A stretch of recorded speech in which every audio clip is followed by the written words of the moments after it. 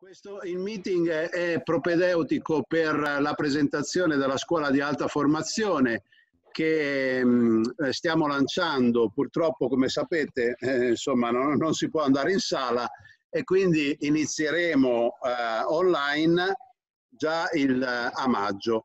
Eh, 16-17 il 16 e 17 maggio inizia la scuola, 50 crediti ECM. Per chi è interessato si mette in contatto con Monica Grant di, di Upainuk e, e quindi mi sembra una grandissima opportunità per rimanere allenati, dico, perché bisogna essere proprio con un atteggiamento ottimista e prima possibile di ritornare alla vita normale. Eh, allora, un'introduzione a una giornata eh, importantissima perché, come sapete, avremo questa conferenza e una lezione magistrale, direi, che poi saranno temi affrontati nella nostra scuola, del grande eh, dottor Pietro Passe che si occupa proprio da sempre di infiammazione, di, di lipidomica in particolare e quindi avere una sua lezione penso che sia una grandissima opportunità per tutti, quelli che si occupano di salute, di prevenzione soprattutto. Eh, avremo poi eh, domani eh, il, il, dottor Bartolomeo Allegrini sulle costituzioni carboniche, quindi epigenetica, la neuroendocrino metabolica, insomma tutte le correlazioni psicologiche e una lezione che è stata molto apprezzata, quindi vedete che chi parteciperà non se ne pentirà perché è veramente qualcosa di straordinario.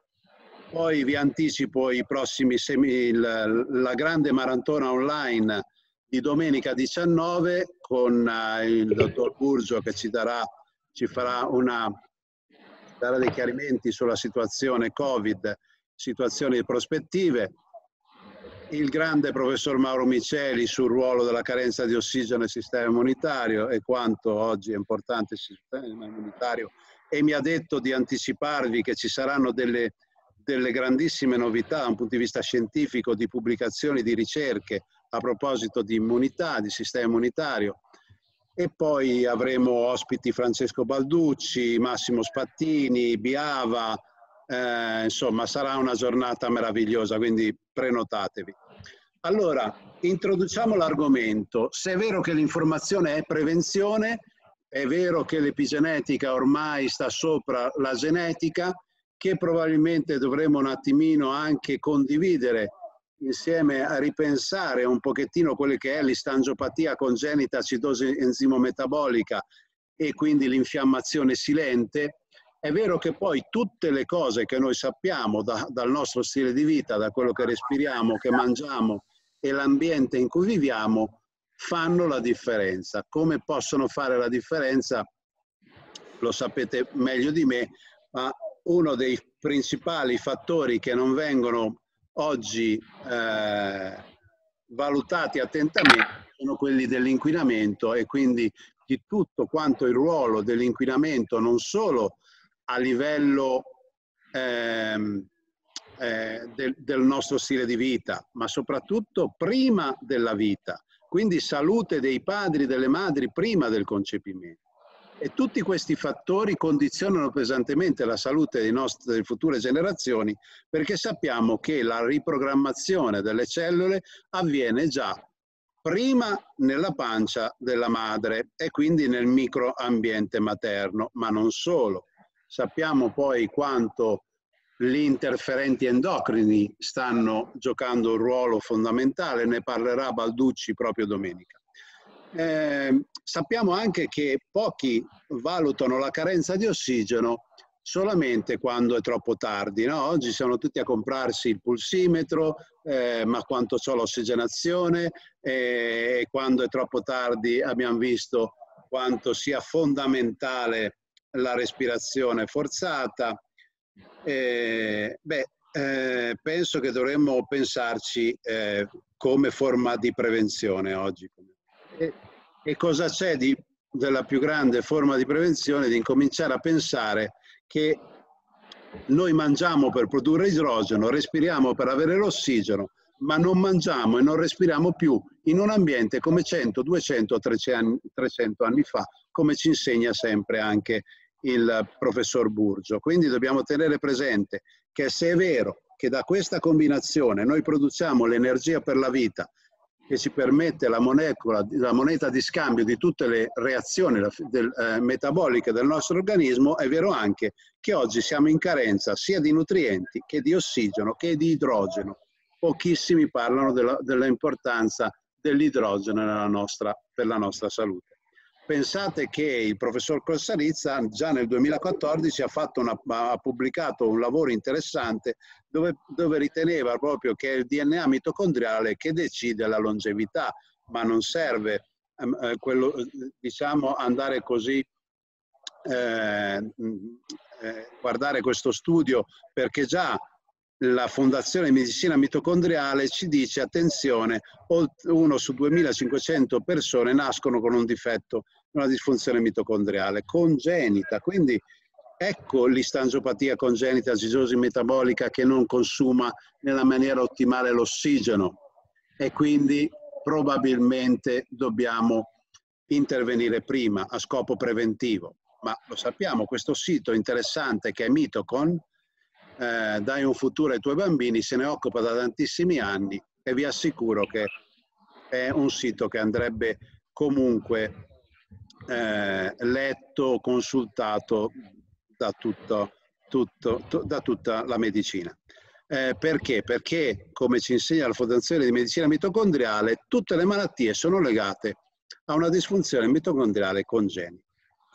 Ehm, allora l'importanza di ricaricare le batterie, certo, non quelle del cellulare, ma della nostra vita, eh, a livello soprattutto mitocondriale, e quanto sia importante valutare la linea materna. Sappiamo che l'ereditarietà avviene attraverso, soprattutto attraverso eh, il, la disfunzione mitocondriale trasmessa dalla madre. Adesso sappiamo anche dal padre in, una, una, percentuale perché dal momento, che, eh, dal momento del concepimento oggi come oggi il liquido seminale maschile è progressivamente intossicato da metalli pesanti, inquinamento, informazioni che non arrivano nella maniera corretta al, al feto.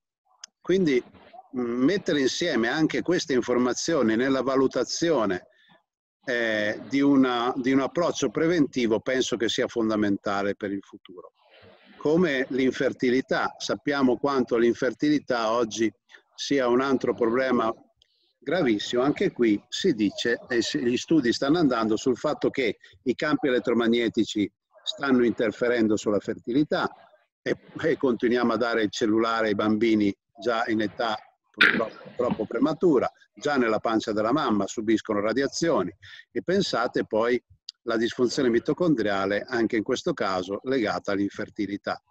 Ma perché questo? Perché le nostre cellule, soprattutto, di cosa hanno bisogno per prosperare e rimanere sane?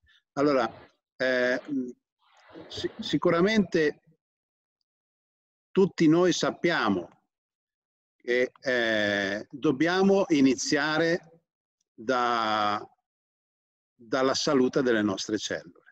Allora, prima di fondamentale, il fattore fondamentale è l'ossigeno e guardate quanto sia fondamentale l'ossigeno, perché l'ipossia crea un danno ipossico, stagnante, istotossico, anemico, porta a una riduzione in sintesi ATP e pensate quanto questo ricopre un ruolo fondamentale quando poi c'è un danno endoteliale, quando non c'è più l'elasticità delle arterie, pensate alla carenza di silicio per esempio, eh, pensate a una disfunzione mitocondriale proprio endoteliale, è quindi lì che si creano i danni.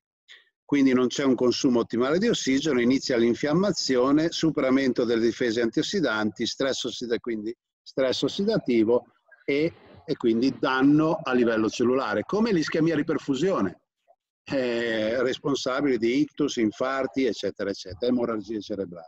Quindi tutelare questo eh, questo fattore è fondamentale. La carenza di ossigeno va contrastata come prevenzione, non quando è troppo tardi.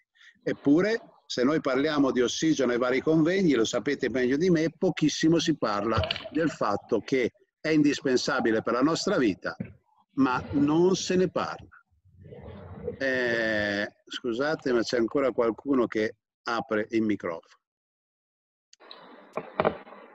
Chi è che apre il microfono?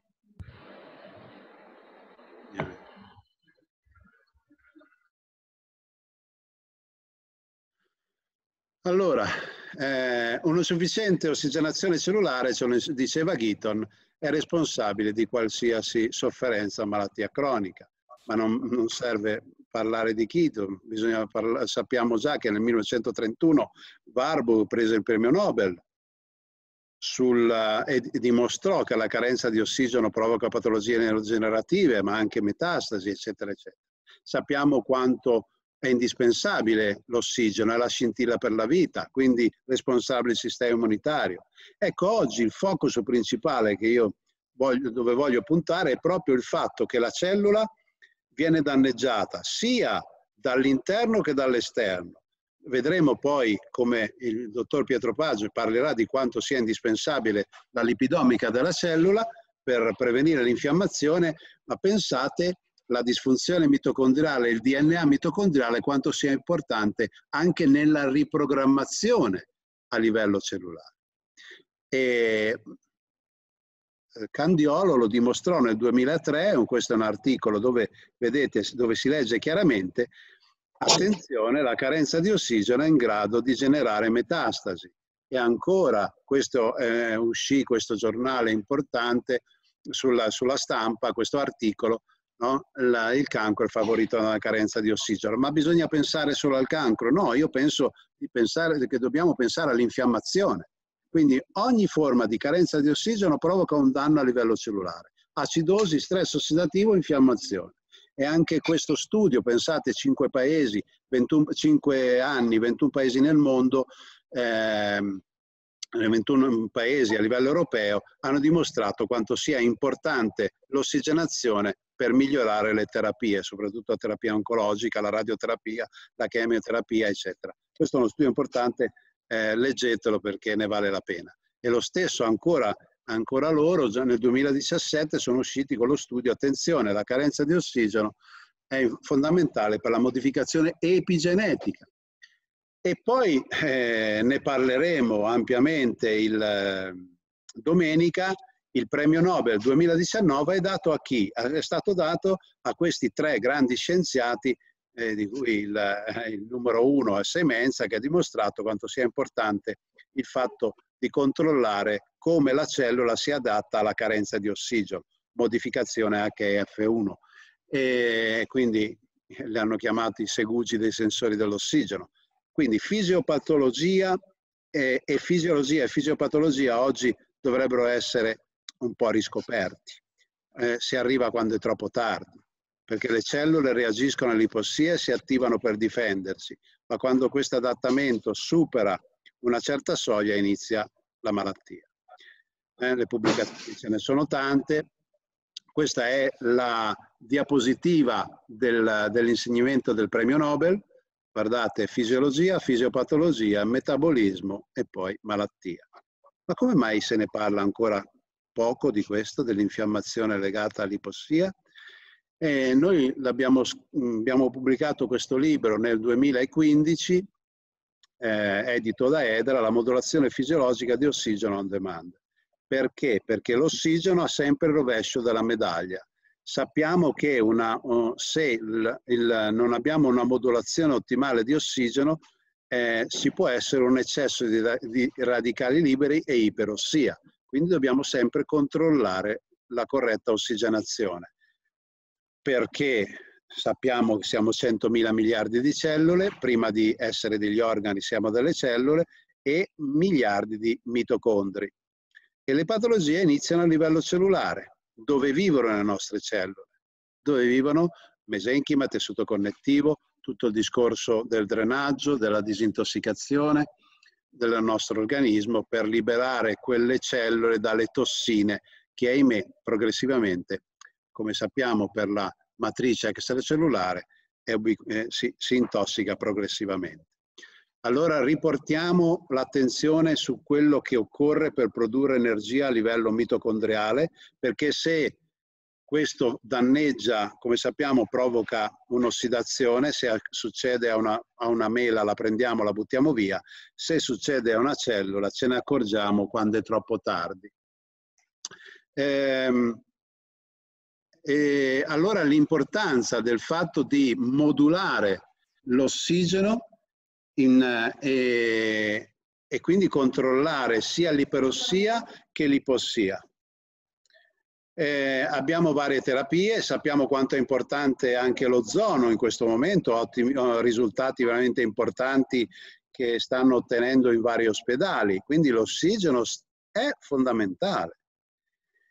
E noi lo proponiamo da ormai tantissimi anni con, eh, sapete, il deutrosulfazime, questa molecola importantissima arrivata in Italia 21 anni fa e nel mondo 50 anni fa, oggi è dimostrato che è in grado di liberare ossigeno con un'azione antiossidante 30 volte più elevata del plasma umano. Questi sono gli studi pubblicati, quindi quando si parla di, di um, qualsiasi nutraceutico è bene parlare anche di pubblicazioni, dimostrare quello che si dice. Queste sono le cellule endoteliali UVEC prima e questo dopo. Come vedete c'è una riattivazione da prima a livello nucleare e poi a livello mitocondriale con un miglior apporto nutrizio ai tessuti, ma soprattutto una modulazione dell'espressione della superossimo dismutasi. Ecco la prova del fatto che abbiamo un nutraceutico in grado di uh, abbassare lo stress ossidativo e aumentare le capacità antiossidanti, come poi abbiamo dimostrato in tutti i lavori pubblicati anche su 230 pazienti con patologie neurodegenerative. Studi pubblicati e quindi se ne può parlare liberamente perché sono su PubMed. Eh, l'ultimo regalo che ci hanno fatto è questo studio eh, dell'Istituto Mori Generale di Roma, dove hanno combinato il self-food a radioterapia e chemioterapia, hanno visto la riduzione della massa tumorale fino al 70% in questo studio preclinico. Quindi ecco perché è fondamentale il ruolo della modulazione fisiologica di ossigeno on demand.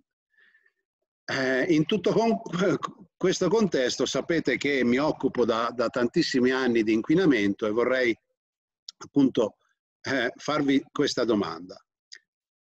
Quando è l'ultima volta che avete sentito parlare di inquinamento? E tutti dicono, beh, sempre, se ne parla tutti i giorni, Whatsapp ormai ci riempie di 5G, 4G, 3G, eh, inquinamento dell'aria, il, il, fatto che le aree più colpite dal Covid sono inquinate, vabbè, tante cose che dovremmo comunque confermare, però sappiamo che l'inquinamento è un grossissimo problema da risolvere. Da risolvere. Se io vi dico cosa fate voi personalmente per voi e i vostri cari per risolvere i problemi dell'inquinamento, la risposta è poco e niente perché l'aria non la puoi cambiare, l'ambiente dove vive si cambia, devi assolutamente pensare di cosa fai, apri le finestre, fai circolare l'aria, ma puoi cambiare l'aria che respiri in una città dove vivi? Penso proprio di no. E lo stesso ne ha i cibi sempre più contaminati. Allora noi dobbiamo agire per rafforzare il nostro sistema immunitario, perché l'inquinamento a livello epigenetico, proprio grazie all'ambiente, lo stress e l'eredità, modifica l'espressione dei nostri geni, soprattutto rimodella la cromatina e sapete quanto a livello istonico questo può creare i problemi a livello del DNA. E le patologie infatti sono in aumento, le difese immunitarie sono sempre più basse. Eh, la, la rimetilazione del DNA è fondamentale, certo, però spesso ce ne dimentichiamo, l'accorciamento dei telomeri, i fattori fondamentali per il controllo dell'omocisteina, è anche questo un fatto importante. Come vedremo, infiammazione lipidomica, ma anche omocisteina, stress ossidativo, sappiamo delle carenze nutrizionali fondamentali a partire dalla carenza di ossigeno. Allora tutto questo diventa fondamentale, vedere le cose a 360 gradi. Cosa fare? Se prevenire è meglio che curare, l'ARS ci dice attenzione, nella comparsa dei tumori conta l'epigenetica, le mutazioni sono trasmissibili fino alla terza generazione e questo penso che sia un'informazione ufficiale cui, eh, che dobbiamo prendere in considerazione. Eh, Eh, quindi proteggere il dono della vita. E io dico sempre, quante volte abbiamo pensato alla salute dei padri e delle madri prima del concepimento. Sono abituati a smettere di fumare quando si accorgono di essere in stato interessante. Se vuoi un bambino non devi fumare. Attenzione ai tatuaggi, a livello del, del, della pelle beh, eh, entrano in circolo nel linfatico e possono creare dei problemi e sappiamo quali sono questi problemi. Già a livello fetale, distruttori endocrini, metalli pesanti, particolato aerodisperso, questo crea un'intossicazione già nel feto.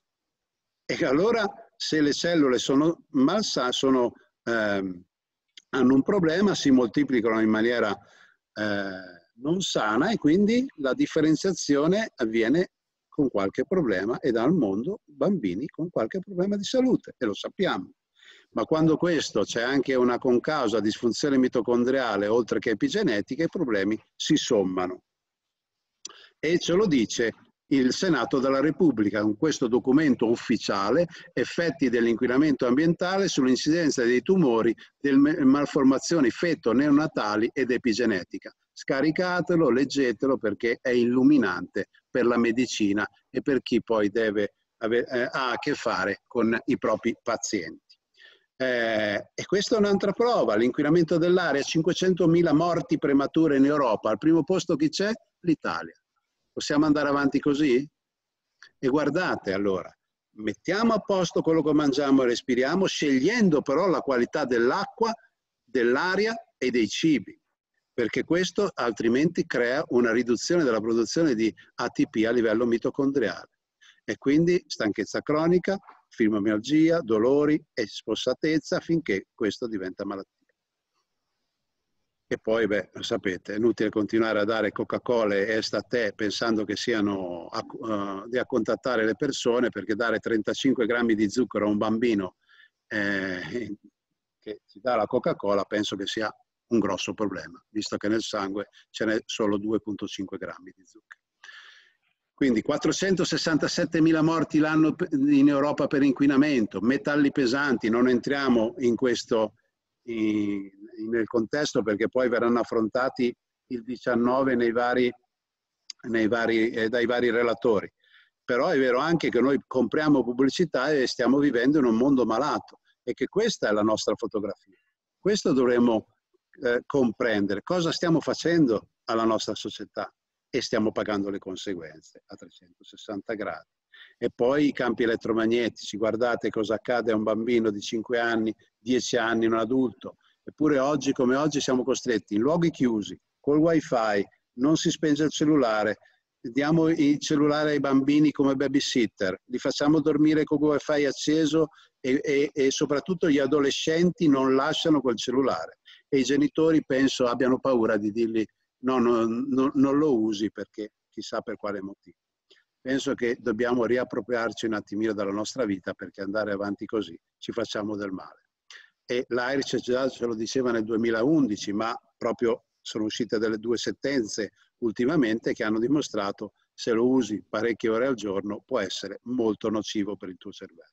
Quindi attenzione. Ma già nel 2012 questa ricercatrice ci, metteva attenzione, Howard dall'Università di Harvard ci, vedeva, ci metteva in guardia sul fatto che una concausa nella neurologia infantile e i disordini neurocomportamentali potevano derivare anche da, eh, dall'uso di wifi e campi elettromagnetici.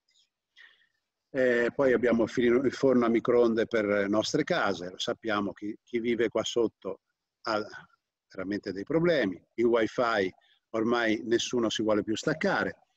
Dormiamo in quel modo e viviamo in un ambiente così.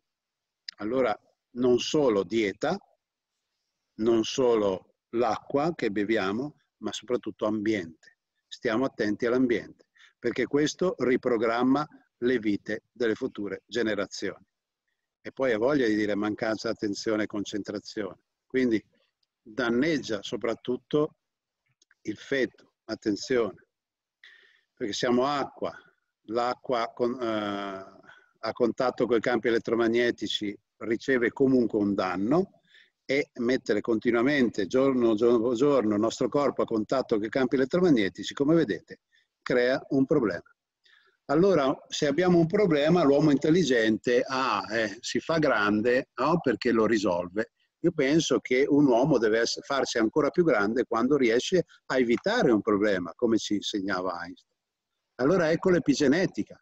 Noi creiamo un report, sappiamo che il capello è un biomarker fondamentale che può eh, captare tutti i segnali e archiviare le informazioni preziose come metalli pesanti, come le sostanze chimiche nocive e essere un biomarker fondamentale anche di prevenzione.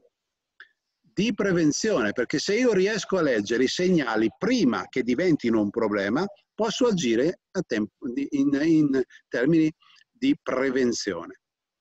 E come fare? Prendo questi quattro capelli che archiviano tutte le informazioni che sono proprio l'USB della nostra salute, perché è come un USB che tu metti nel computer e scarichi no, nella memoria le informazioni. Lo stesso il capello che le archivia per 80-90 giorni e anche di più. Le mettiamo su una bobina che genera uno spettro di frequenza e poi professor Spaggiari ci spiegherà domenica come funziona da un punto di vista tecnico. Vedete, questa è una bobina, lui genera uno spettro di frequenze dall'ultravioletto all'infrarosso e quando io metto il capello eh, andiamo in risonanza a queste frequenze con il, il bulbo del capello. Il bulbo del capello è ancora vivo e quindi perché il test viene fatto dopo un minuto e siamo in grado di leggere molte informazioni. Ed ecco alcune informazioni che possiamo leggere e possono essere utili non come diagnosi, ma per migliorare l'anamnesi verso i, i nostri eh, pazienti. Quindi migliorare la qualità della vita. So se sapere soprattutto quanto sia importante. C'è qualcuno che non chiude il microfono, quanto questo è importante può essere eh, contaminata da campi elettromagnetici oppure essere irradiata, dormire in un posto dove c'è radon, vivere, lavorare dove c'è radon, metalli pesanti, sistema gastrointestinale o sapere le carenze specifiche di questa persona. E generiamo un, un report di, no, di, 34 pagine eh, importanti di informazioni che possono essere messe insieme all'anamnesi classica che fa il nutrizionista, il medico. Eh, la, questa è una pagina riassuntiva, vedete ho proprio preso questa perché è molto utile oggi, vedete acidi grassi per esempio e qui segnala oltre alle carenze di vitamine il sistema neuroendocrino nel riepilogo, eh, eventuali eh, alimentari, non è un test di intolleranza o allergia, non c'entra nulla, e valutare la persona nel suo insieme a 360 gradi. In questo caso vedete l'acido alfa-lipoico e eh, l'eicopantenoico e quindi andiamo a valutare bene la lipidomica e le carenze di questa persona. Eh, questo poi è il, la, la, la, la, pagina dove spiega e fa vedere nel dettaglio la situazione della lipidomica degli acidi grassi essenziali eh, nello specifico di quella persona. Eh, questo test viene utilizzato anche dai centri di medicina integrata della riproduzione, ormai ci sono più di 160 centri in Italia aperti. Cosa possiamo fare? Ripartiamo da qui. Se è vero che l'informazione è prevenzione, che l'epigenetica modula a seconda dei vari fattori che sono contaminati, l'inquinamento, la tossicità, i metalli pesanti, le carenze nutrizionali, i pensieri, la postura, tutto l'insieme, noi dobbiamo agire prima che poi questo diventa un'infiammazione cronica, un problema. E allora rafforzare il nostro sistema immunitario. Questo è fondamentale. E come facciamo a rafforzare il sistema immunitario se non conosciamo dove vive, dove lavora, cosa ha bisogno, prima che diventi un problema? Perché se io faccio un esame e valuto la carenza di vitamina D, è, è un parametro. Io devo avere un insieme. Quanti esami dovrei fare per conoscere veramente il danno. E poi ritenete, eh, quello che dico sempre è, se tu fai un esame a scopo preventivo, non parlo di diagnosi di malattia, mandi via il campione, ti ritorna tra 15 giorni e fai un'anamnesi, la metti insieme a un'anamnesi che hai fatto 15 giorni prima di quell'esame che hai avuto dopo 15 giorni. Quindi non è una, una visione, una fotografia reale della persona in quel momento. E allora dico questo, che la vita è davvero semplice, eppure insistiamo complicando. Ecco che è con eh, molto piacere che eh, abbiamo oggi come ospite il dottor Pietro Pace e che eh, con, con, è un onore averlo qua e quindi è il piacere di passargli la parola.